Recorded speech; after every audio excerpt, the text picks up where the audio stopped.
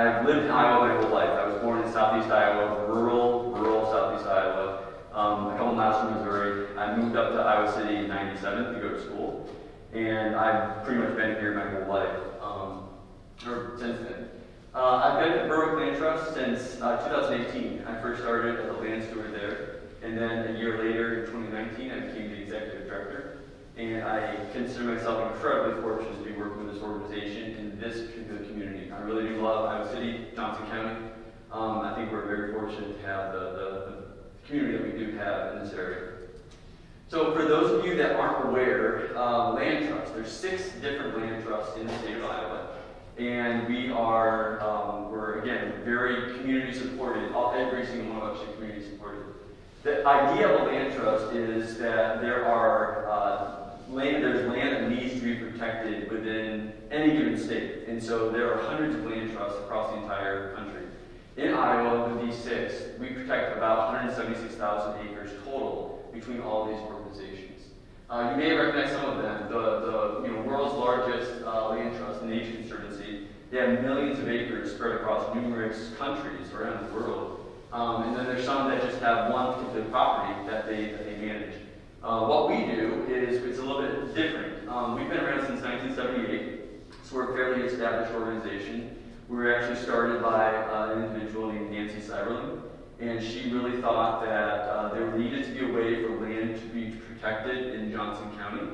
And so she got together with a, a group of individuals, and they established Burr Oak Land Trust. At the time, it was called Johnson County Heritage Trust. Um, but then we changed the name in 2013 because really we wanted to expand beyond Johnson County in the scope of the work that we did. Currently, our organization is protecting about 1,000 acres, um, and that's a, that's a pretty decent number for the staff of an organization of our size. We operate in 15 different counties within the state of Iowa, all in eastern Iowa. We don't own property in each of those counties, but we do a lot of land management. There's a lot of work that needs to be done on native properties in the state. And we think that our organization is really posed to help provide landowners with the ability to do some of that work, like prescribed fire, things that some landowners aren't able to do. What we do as a land trust is we focus on a number of things. Uh, we focus on land preservation, making sure that land isn't all developed or turned into ag land. We do a lot of habitat management. Many of you probably know, if you just let land sit in the state of Iowa, it doesn't just turn into a, a, perfect preserve, it turns into a lot of invasive species. And so you get some really gnarly stuff like multiflora rose, uh, honeysuckle, tree of heaven, all these things start growing up very quickly.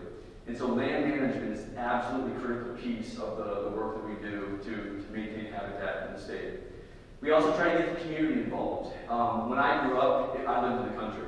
And every single day after school, and, the entire summer, I was outside I was walking through creeks. I was, you know, looking for frogs in ponds. That's just a life that I had. I was, I was in the country. I was exposed to nature every single day. Unfortunately, we're starting to drift away from that pretty far. And so what we want to do is not only involve kids in nature, but get adults back into nature as well. And so we provide a lot of opportunities for parents to bring their kids out, but also for adults just to go out and, and find the solitude that nature can provide. We also provide a lot of educational programs uh, for the community as well. We are a 501c3, so we are a nonprofit. Um, we are community supported, but we also get funding from both the federal and uh, the state, and as well as private grants as well. This is just some of the work that we're doing, and I'll talk about some of the projects that we have going on. But first, I'm going to talk about a little bit about um, some of the actual projects that we work on. So the two big focuses of the program that we have, this is semi-working, so my apologies. There we go. Um, we focus on habitat restoration, so making sure that the native habitat that we have is uh, in a good state so that the species can live there, and also trying to provide educational opportunities for individuals to learn about what should be on those programs. Um, we do a lot of sharing of the outside world with our community. And so this is something where we do a lot of events on our properties where we have individuals that are able to come out. We also have an AmeriCorps. And so for those of you that aren't aware, AmeriCorps is a uh, federal program that allows us to bring groups of individuals in to do this work. So we're able to train them to have the careers in conservation and provide a lot of good opportunities. Um, they do mostly habitat restoration, but we also do some conservation education, and we also do disaster response. And so there are times when we're actually called on to help out the community in ways that are other than conservation. And so a good example of that is after the derecho that hit in 2020, uh, we actually went up to Cedar Rapids and we helped that community who was very hard hit by getting rid of a lot of the, the trees that fell onto a lot of the neighborhoods in that area. And so the team spent about 16 days up there doing this of work. Um, in Iowa, the big thing that we do is we try to restore the, the native land to either prairie or to what we call the oak hickory savanna. And so Iowa, as a state, was never completely covered by woodlands. It was mostly a prairie state, and I'll show you what that looked like uh, in the pre-settlement time in a couple different slides. But what our goal is, is when we go onto a property, is we want to enhance the vegetation. We want to take the things that should be there, all the native species, and provide them with a good place to live. So we go and we do full surveys. We want to know every single species that is on property. And we'll never know every single one. We're never going to know all the insects or all the you know, microbes and things like that. But we can definitely tell some of the larger ones, tree species, turtle species, things like that.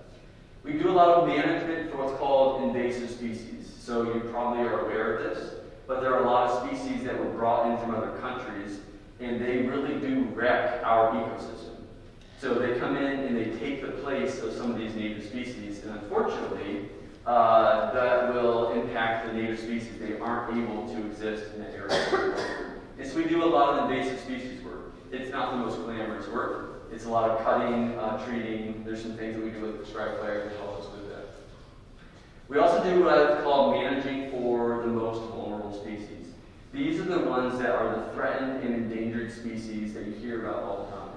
Um, Iowa has uh, about 500 uh, threatened or endangered species. I'll show you some of them in a little bit. And we want to make sure that if the properties that we have have any of these endangered or threatened species, those are the species that are most critically at risk, and so we want to try to manage for them. And so you have to know that they're there. That's why that survey work is so incredibly important. And one of the best ways that we're able to do this is restoring what we call restoring the fire regime. So back in the pre-settlement days, when Iowa was a, a prairie, they used to have fires that would really go from the Missouri River all the way to the Mississippi River. Pretty much the entire state would be at risk of burning. And so that really kept a lot of the ecosystems in check. When the settlers came here, uh, the, the European settlers were often afraid of fire, and so they stopped that work. And so they stopped the fires. And so all that really dramatically changed the landscape in Iowa. And so now we have to bring it back by doing prescribed fire. So a good example of some of the work that we do, here's two oak trees. So these are fairly large, I would say probably 150 to 200 year old oak trees on a property. And when we first acquired this property, it looked a lot like this. These are the same two trees, the same two angle. You really couldn't even see those trees. They were covered with uh, cedars and honeysuckles and multiflora rose and all sorts of things. And when oak trees, when the lower limbs of oak trees don't get enough light, they'll die off. And so what we started seeing was that there are a lot of oak trees in Iowa that don't have these long lower limbs anymore because of this particular problem where all this stuff has grown up and around them. And so just a real small example of some of the work that we do, we'll go in there and remove all of so that oh, those the light can actually penetrate through and hit those leaves, so that you don't lose all those long branches on trees like that. So why is this work important? I mentioned before there are six different land trusts that are focused in this on Iowa. There's hundreds in, in, in the country, um, and there's many more in the world. So why is this work important? So there's some really interesting reports that came out in the last couple of years um, one of them said that, it, in, one in the journal Nature said, plants around the world are going extinct at a rate that is 500 times faster than they should be. So we have whole plants, whole categories of plants that are no longer around, and that's, that's happening incredibly quickly. Another report came out and said that in the next 200 years, so a very, very short time frame, we're at risk of losing about 1 million species So 1 million species will be going extinct within 200 years unless we make some pretty dramatic changes to the way in which we interact with the ecosystem. And then a third report came out, and I'm sure some of you have noticed this in your lifetime, but it said that in, since 1970, so in a very, very short period of time, just North America alone has lost a total of 3 billion birds. So we simply have fewer birds in North America than we did even in the 70s. So when you start removing individual species from an ecosystem, you don't necessarily know how many you can remove before you start to have what's called an ecological collapse, where things just stop working really well. And so if you lose one bird species, it's probably not going to make a huge difference. If you lose two or three or four, it's probably not going to make a huge difference. But we don't know how many you can lose before you start to have those ecological collapses. Because the entire ecosystem is this giant web, and everything relies on everything else. And, and there's these little niches, these little areas where things are decomposing stuff, or they're eating certain species, or they're predating other species. We don't know all those interactions. And so unfortunately, when you see a million species, there's going to be some pretty large ecological collapses that are going to be happening in the next 200 years. So why is this happening? There's three reasons it's happening. And it's the same thing in Iowa as it is in every other country in the entire world. And that is habitat loss, habitat fragmentation, and habitat degradation. Those are the reasons that we are losing species uh, across the entire world. And within Iowa, I mentioned it already, but we have 500 species of plants and insects and animals that are currently threatened, endangered, or species of special concern. And so if we don't act now, we have over 500 species that have that are under threat of extinction within this within this state. And that's I think that's horrible myself. We have some amazing species in Iowa. Um, there are three different cactus species that are native to this state. So Opuntia cactus, and this is this is one of them. And in Johnson County, like if we got in a bus right now, I can take you to a property that's 30 minutes away where there still is a, a native colony of cactus growing on the sand prairie. It's one of the most amazing things. Um, we also have rattlesnakes that are in Iowa. There's two different species of rattlesnakes. There are a lot of different mussel species um, that are in the state. And unfortunately, because of the water quality problems we have, the mussels, almost every single mussel species in the state is either threatened or endangered at this point, simply because they're filter feeders. And so if you put mussels into a body of water and then pollute that water, they can't get out of that. And so they're going to be the first line, they're going to be the first species to, to start to see the problems. This first species that are starting to go. So we have a big problem right now with mussels. You also will see, I'm sure some of you are aware, but the um, Arabian muscatine they used to make a lot of buttons out of the, the mussel shells, the, shells from the, the, different oysters and things like that over there, the clams. So I've, I've been over to that area before, and there's areas where you can go where they used to dump all those old shells. And so you can kind of pick through them, and there's like perfect holes through them. It's amazing. But those shells, those shells are thick. They're, they're quarter inch, half inch thick clam shells, and they weren't that old. Now, when you find clam shells, they're almost paper thin. You can literally take them and just crush them with your hands like this because there are various chemicals that are in the water that are keeping them from developing those thick shells. And so not only are they not, the, the, the populations are down, but the, the, the shells themselves are, are very, very thin. And so it makes it so things like raccoons can eat them much more easily. And then one that I personally am very attached to uh, on the very, on your left over there, that's called the rusty patch bumblebee. I'll talk a little bit more about this later on, but this is a very important species to me. Um, we have them in Iowa. We're one of the only states that has a decent population of them anymore. And uh, I actually have them, they, they come visit my house. They have a prairie at my house. And so the first endangered species that I ever found uh, was, was literally right outside my, my kitchen door. Uh, I was out, I was drinking coffee on a Sunday morning looking at flowers, and I found my first endangered species. So I'll tell you that story a little bit later. Uh, but all of these species, plus another, you know, 496, are at threat of being lost in the state of Iowa, unless we do something. So this is what Iowa used to look like. This is the state of Iowa, and everywhere that it's green was a forested area. And you can tell where the forests were because they were right along all the major rivers. And so if it was a major river, it was a wet environment, and therefore it wouldn't burn that often. And so where it did not burn, you would have forests, you would have trees growing. Now, the rest of the state is all yellow. What's the yellow? Prairie. And so this state had about 95% prairie. We were not forested state. This state has more trees in it now than it did in 1850. So it's not a problem to have trees, but it's a problem if you have too many trees in areas that used to be prairie and you're trying to grow prairie there. So that's what it looked like in the 1830 time frame, around when European settlers started coming to the state. This is what it looks like now. So, again, you can see all of the little rivers. You can see a little bit of green around them where some of those forests are. But the vast majority of the state is gray. What do you think that gray is? corn, or soybeans. And so what we did is we took millions of acres of land in 100, about 150 years. We took millions of acres of land that had thousands of species living on it. And we, we scientifically made it so that one of two species existed on that, that land, corn or soybeans. This is definitely not an anti-farming talk. Like we all know farmers, we all have farmers in our families, uh, we all eat food for, for you know, breakfast, lunch, and dinner.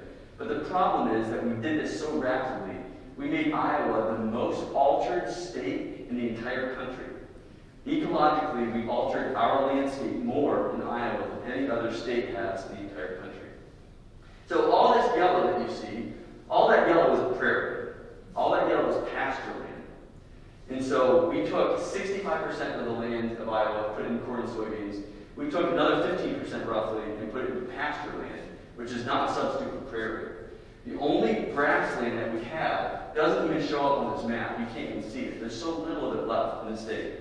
And so what we try to do as a land trust, what other land trusts try to do, is we try to find those little gems, the, the areas of Iowa that are still untouched, and we do everything we can. We devote all of our resources to protecting them and to making them better. And the other thing we do is we start to try to claw back what we used to have. And so what we're doing is we're actually doing restoration where it used to be farmland or it used to be urban land, and now we're trying to put it back into prairie or put it back into wetlands and woodlands. So a really good example of this is, again, in Johnson County, and some of you probably have driven on this road a lot of times in your life, but this is 12th Avenue in Coralville. And so this first map right here, this is what 12th, this is 12th Avenue in Coralville back in 1875. It existed there. And there's these phenomenal maps called the Andreas Atlas. They're all hand-drawn maps. The original was a big atlas maps, and it was probably about that tall, this big, huge volume of maps. All hand-drawn to show you exactly where all the woodlands, all the prairies, all where all the churches, where all the Native American encampments were uh, previously in 1875 this amazing atlas. We use this all the time because it's important for us to understand if we're trying to restore land, we don't want to put the wrong thing there. And so if it used to be woodland, we don't want to try to put prairie there and vice versa. So we look at these maps all the time. 1875, this area here where it looks like little shrubs, that in that map series was called oak savanna. So you have prairie, everyone knows what that is, grasses and flowers. You have woodlands, Everyone knows what that is. That's trees. Oak savanna is, is kind of somewhere in between. You have some oak trees, some hickory trees, and then you have a lot of grasses and a lot of uh, forest, a lot of flowers. And just like in where you have the ocean with intertidal zone, it's very, very rich biodiversity where you have the ocean meeting the land, where you have two different things coming together. It's the same thing with oak savannas. You have woodlands meeting prairies. So you have a whole large, have a very large number of species that live in these areas. And so oak savannas are incredibly important to find and protect at all costs. So we found one. This was, again, in, in Coralville. It's actually, this is Coralville. This is North Liberty up here. Um, and so we're kind of in this area that's, that's still counting between Coralville and North Liberty. We kind of refer to it as the DMZ because both of the communities wanted because of the tax base there. And so we were able to acquire what is in the, the red there. It was not in 1990, but you can see some of the stuff that we were talking about. Habitat fragmentation, like I mentioned before, habitat fragmentation just means if you have a nice big prairie and you split it in half, there's problems with that. It doesn't, it doesn't, like a 100 acre prairie split in half is not as good as one 100 acre prairie. And so even by putting these roads in, back in 1875, they started to impact the landscape in Iowa. Butterflies can very easily cross a road, but salamander species can't. Turtle species can't. There's all sorts of species that can't cross roads very easily or they'll be killed. So by 1990, there was a pretty decent amount of fragmentation as well as habitat loss. This whole area was being farmed by 1990, but there was very little urbanization. There were some roads, there weren't many houses in this area. Fast forward between 1990 and 20, 2016, what you see here is it's all houses. This whole area has been turned into houses. And so this big oak savanna here that was surrounded by prairie is now chunked up. You can still see a little bit of it right here, but most of it is gone. And then this whole area here, instead of being prairie, is now houses, sidewalks, lawn with, with turf grass, things like that. So most of the habitat has been lost from this area, except we do have this nice chunk that we own and we're trying to manage. So I'm going to zoom in a little bit to show you what happened in the last 70 years, roughly. So in 1960, this is just a top-down view. All of these dark areas, these are all trees on this property. And the rest of it is more open grassland. So all the light gray stuff is grass. That was in 1960. This is more of a savanna type atmosphere. 1990, it's starting to fill in. 2010, it's almost 100% covered by trees. Can anyone guess why that would be?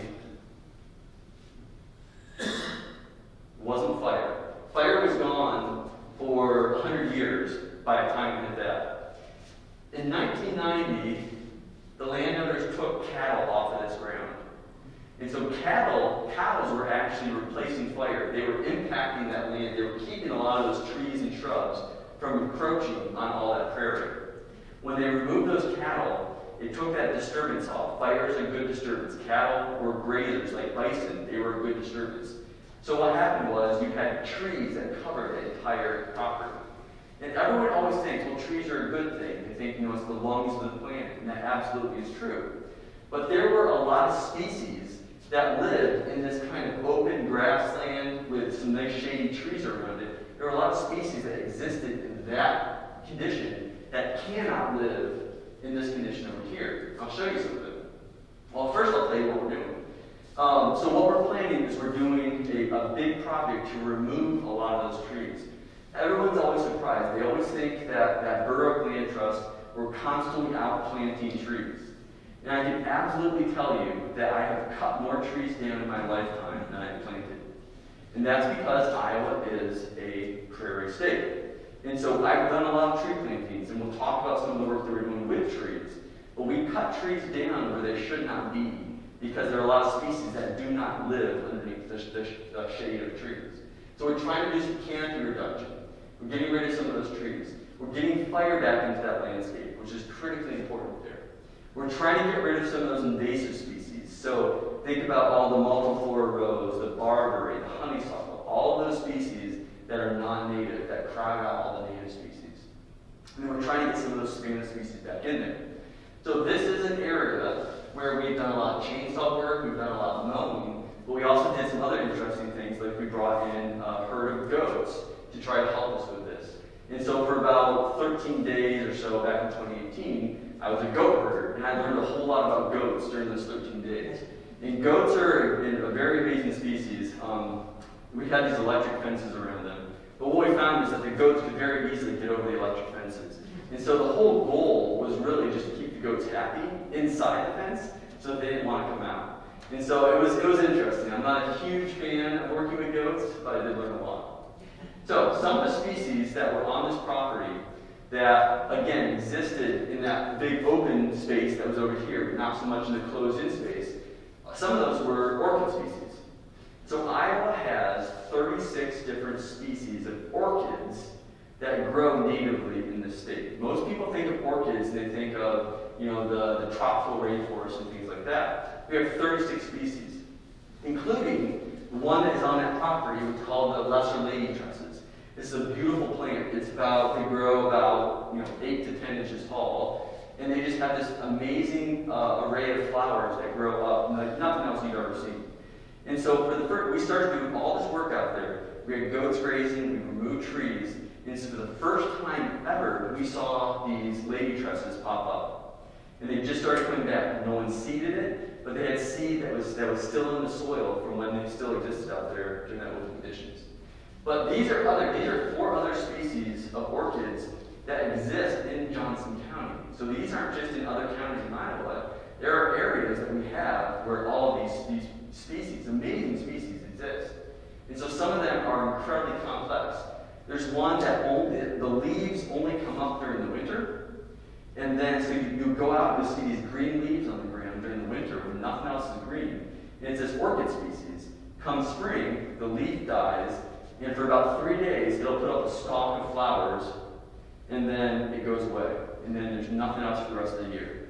So there's amazing species like that that are existing in, in the state of Iowa. A lot of people know of the, the lady slippers, the white and the yellow. This is called blade, and this one here is uh, spectacles.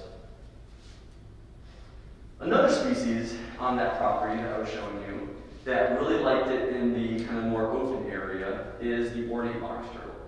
And this is one of those species that I just absolutely love. Um, the first one I ever saw in the wild was on this property.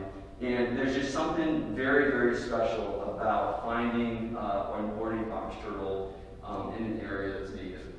So this species, uh, they will live about 40 to 50 years in the wild. And so they, they do are one of those species that have a very long life cycle. They don't start producing young until they're about 13 years old. And so unfortunately what's happening is because of the increased number of raccoons, because of the increased uh, poaching from people, the ornate box turtle, uh, the numbers, the population numbers, have plummeted within this state. And so they really like sandy soil. They really like areas that have both shade as well as sun.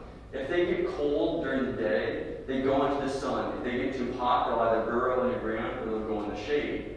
So that works really well if you have an area like this. If they're cold, they go in the sun. If they're hot, they go in the shade. It works fantastically well for this. Over here, if they get cold, there's no sun to get to. There, there, there's very little sun that penetrates through where they can actually warm up during the day. And so when these species are 40 years old, they existed, they were born into an environment that had that nice sun, but now they, they don't. And so that's a huge problem. They don't mate unless they can they can bask in the sun. And some people think, well, well, they can just like go to another area. The problem is there's no area for them to go to. This is where they were born. This property, the red area, is about 40 acres. Those turtles, the habitat, the range of those turtles throughout their entire life is about three acres. So they will, they will be hatched out of a shell and live their entire 40-year life in about a three-acre span, three-acre area. And so they can't go south because it's all lawn. They can't go north because there's a creek there. They can't, they can't swim. It's a, they're terrestrial turtles only. They can't go west because west is more of the same. It's all trees. And so unfortunately what we have is we have a population of turtles that is a ghost population. They're never going to mate because they don't have enough sun. And so what we're doing is if I had a map from 2021, which we don't have yet, you'll see we've cleared out massive tracts of this, this woodland. Because a lot of these trees, were, they should not have been there. And we want to give the turtles a place where they can actually bask and mate so we get more populations of turtles in that area. We did some additional work in Johnson County, um, the Hawkeye Wildlife Area. If some of you have heard that, it's owned by the federal government. It's part of the Army Corps of Engineer land. When they put the dam in Coralville in 1953, they had to purchase massive tracts of land so that if they needed to, you know, have the dam uh, raised so they could flood things, then they would have this area where they could flood it. And so Hawkeye Wildlife Area is hundreds and hundreds of acres up near North Liberty. And they have up there the one of the best ornate uh, box turtle breeding grounds in the Midwest. It's amazing. There's over a thousand specimens up there. And so we went and we worked with a team that actually was, was trying to identify the, the population, how big the population was, what the breeding numbers were, and things like that. But finding these turtles can be pretty difficult. Um, this is a baby turtle, so that's a real small one. The big ones only get to be, you know, about this big, so they're not very big. When you have them in grass, they're very difficult to find. And so there's a guy, John Rucker, who actually lives in Montana. He has raised a team of dogs, or he has trained a team of dogs, Boykin Spaniels, to scent turtles. And so we, with a grant from the DNR, we brought John out, and we had his team of dogs help us find these turtles. And once we found them, there's a way that you can actually um, catalog the turtles. All the tur- all the bottom of the turtles, it's like a fingerprint. It's a unique pattern. And so you can tell one turtle from the next just based on the bottom of it. So we took photographs of all their shells. We made notches in them so we could put the numbering system down. All this work was done um, in 2018 as well as in 2020. Um, it was a pretty amazing thing. These, these dogs were fantastic. Uh, it was just like they were scenting on birds. They would go out, and when they found a turtle, they would pick it up in their mouth. They were extraordinarily gentle, and then they would bring it back to you. And then we would do all this work in the field to get their weight and their determine what sex they were, all of that. And then we return that turtle to the area that we found it. Um, what we're finding is that it's a healthy population out there, but unfortunately, the biggest problem, there's two big problems in that area. One, as soon as a, a female turtle lays its eggs, uh, raccoons will go dig them up and eat them. And so that's the biggest problem. The second biggest problem is people. These are small enough where people like to keep them as pets. And so there is a black market trade for ornate box turtles in, in the, the country. And so people will go out and find them and take them and sell them. And it's, it's highly illegal since these are threatened species, but unfortunately it happens. And so we're trying to figure out ways that we can combat this, but it's very difficult. It's very easy for people to go out there with a backpack stuff full of turtles and take off before someone knows it. And so it's we're working on it, but unfortunately it's, it's something that's going to be difficult. This was an amazing, uh, one of the amazing specimens that we found. There's ways that you can tell males and females from each other pretty simply in the field. Um, the males, because of the way they mate, they, they do selection from the males having coloration, like a lot of birds. And so the males will have these bright green faces, and then they'll also have these really bright red eyes. And so this was a male. We found this one, he was about 35 to 30, uh, 35 to 40 years old. Just an amazing turtle. Just really feisty. They're very feisty turtles. And so we were finding quite a few of these. They were amazing. The youngest one that we found was about two years old, and they're very tiny. When they're born, they're about the size of a quarter. And then they grow up that size over the, the course of 40 years. They're amazing species, so we really do like. Um, the other species that I work with a lot is the rusty patch bumblebee. So as I mentioned, uh, in 2018, I had just started working with the Burr Oak Land Trust, um, was drinking some coffee. I went outside on a Sunday morning, was just looking at what flowers were blooming in my yard, and I, I saw this bee, and I, I, knew that one of the bees had been put on the endangered species list called the rusty patch bumblebee.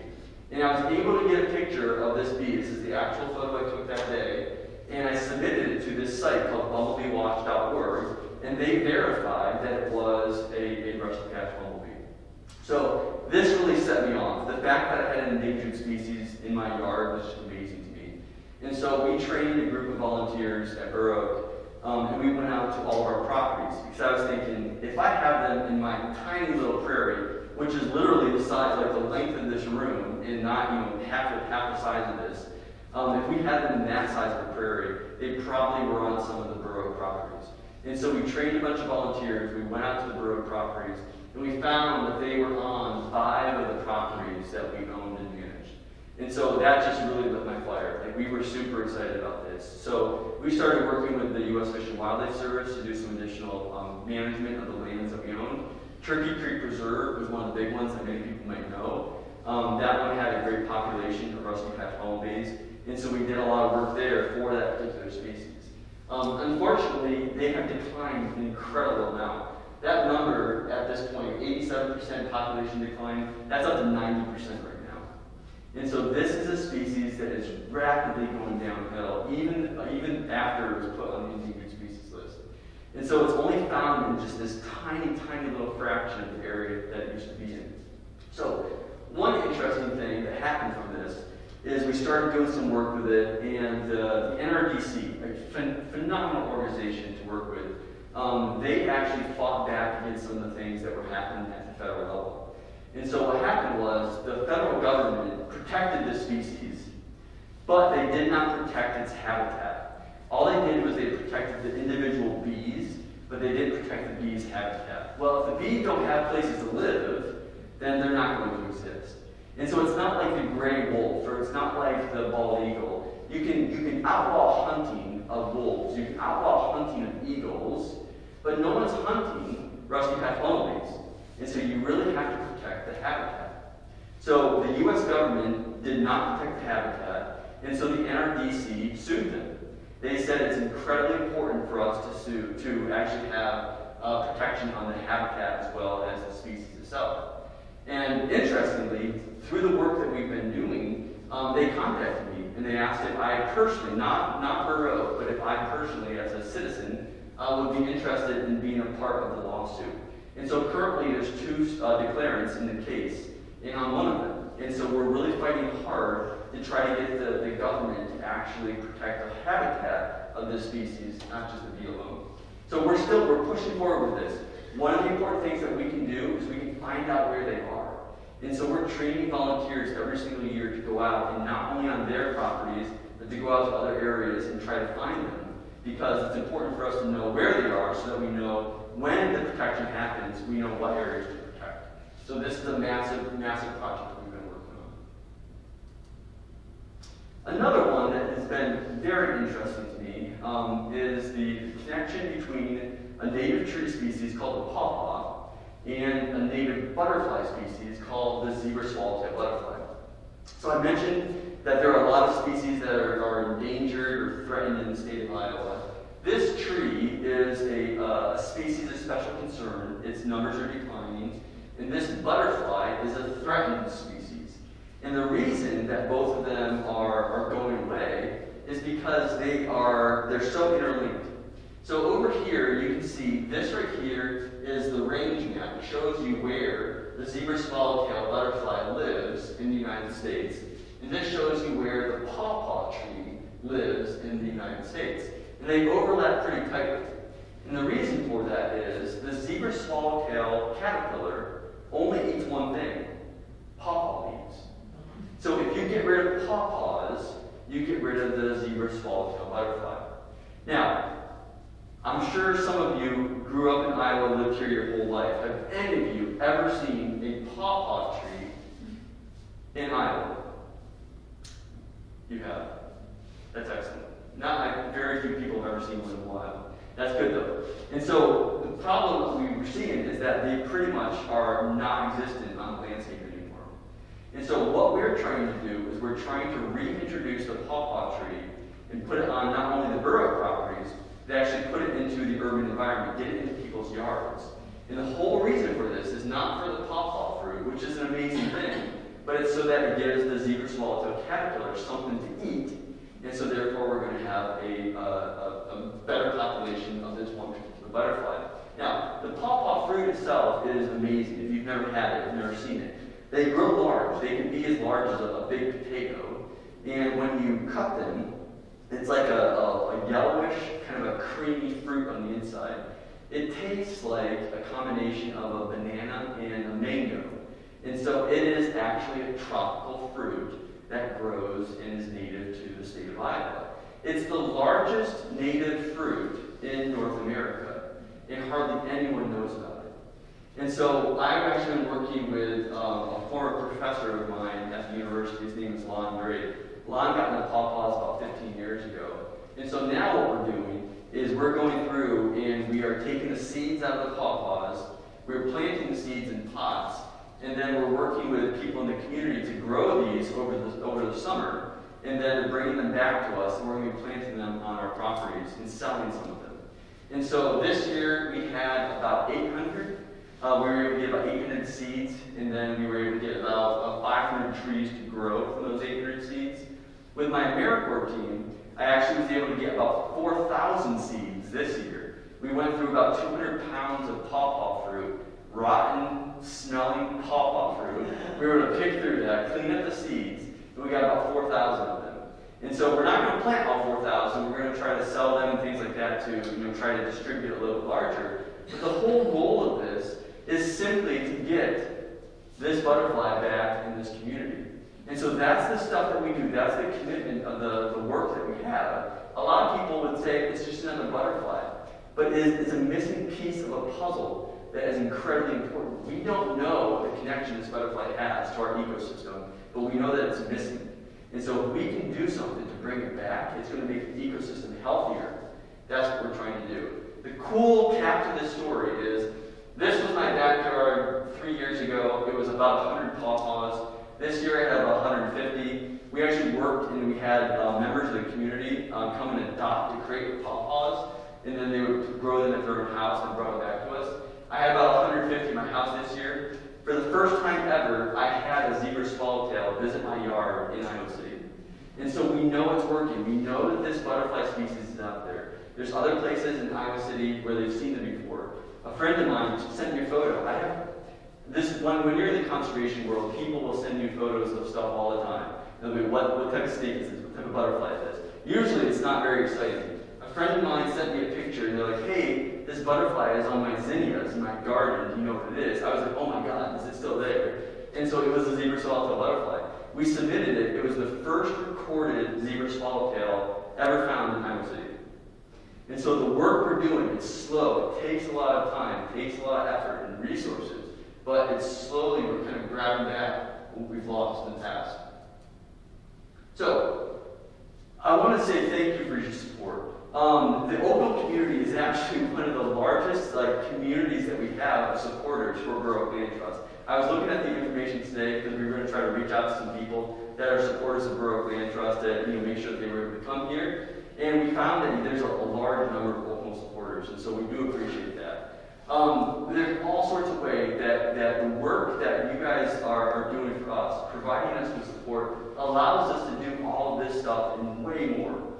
Um, we have a full team. We have four staff members, and we have 10 full-time AmeriCorps members that every single day are, are honestly just working their butts off to try to get this stuff to happen.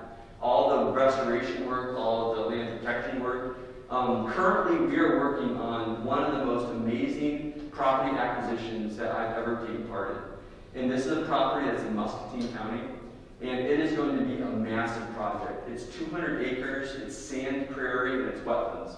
And it has Opuntia cactus growing on it. And we've already found a beetle line that's only been found one other place in Iowa. We think there's two endangered species of turtles on it. And so we are working just passionately to try to get this piece of land protected. And the only reason that we're able to do it is through the support of the community.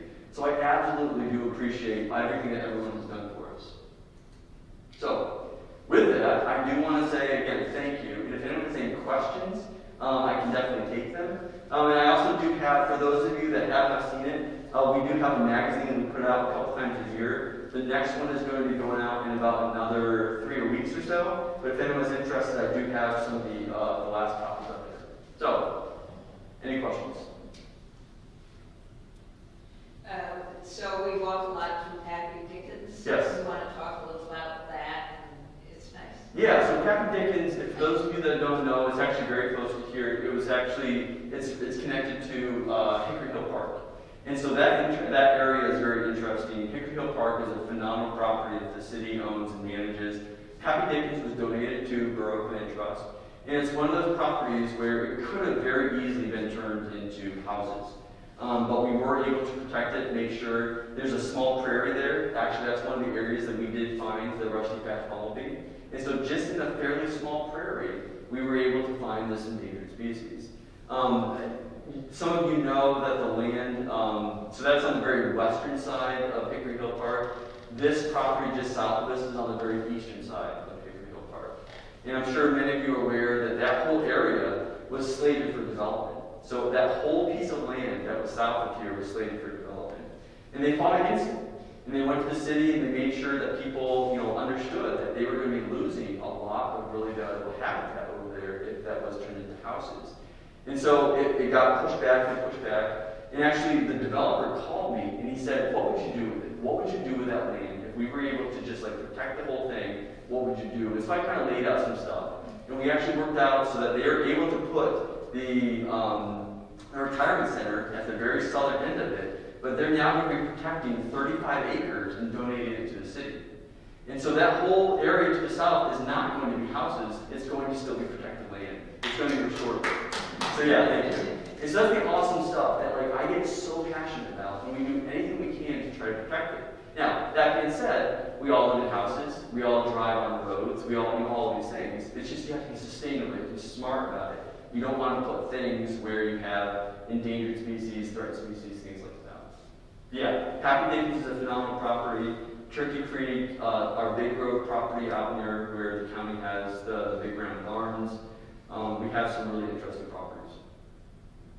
Uh, Pappy Dickens has a very rusty station wagon. It does.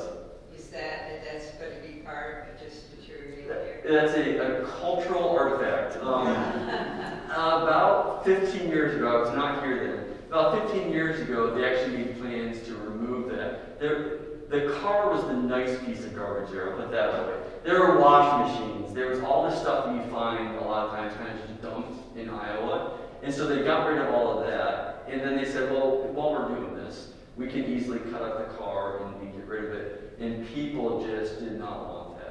And so it's one of those things where it's just, it's allowed to sit there. Uh, it's not native, but it's also not hurting anything. And so, you know, there's no oil or anything like that leaking out of it. And so, but we do, uh, my wife and I do a lot of hiking out in like the Joshua Tree area in California. And they have a rule, if it's 50 years old or older, it's considered to be a cultural artifact. And so I've always referred to that car as a cultural artifact. But we do have on another one of our properties, um, we actually have some Native American mounds, and so there's some other things like that, where they are true cultural artifacts, really, really important pieces of our cultural history. Yes? I would imagine that children could really become engaged with this kind of thing. Do you go into the schools and talk to kids?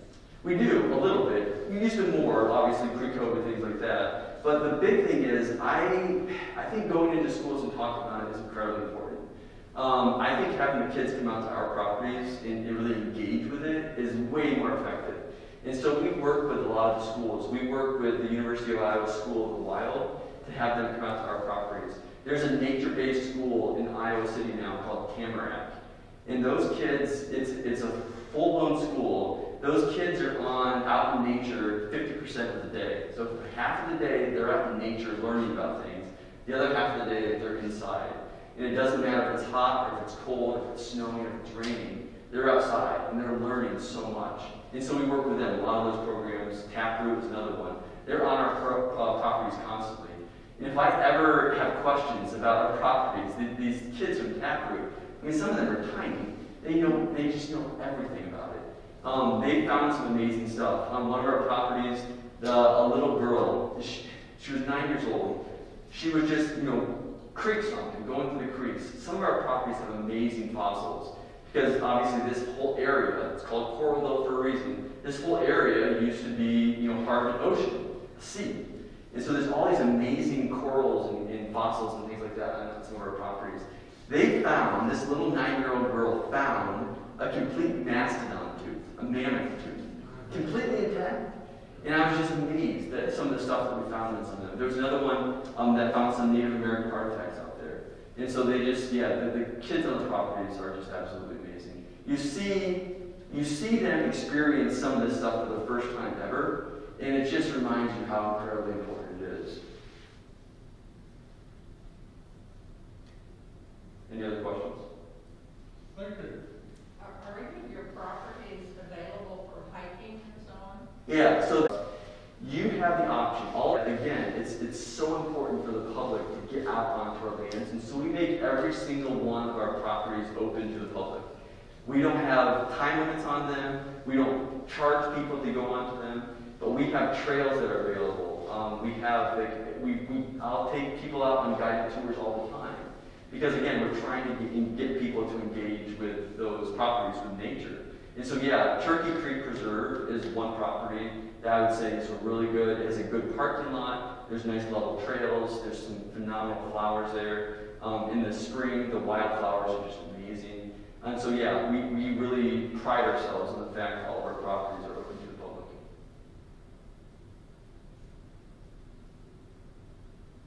Additional questions?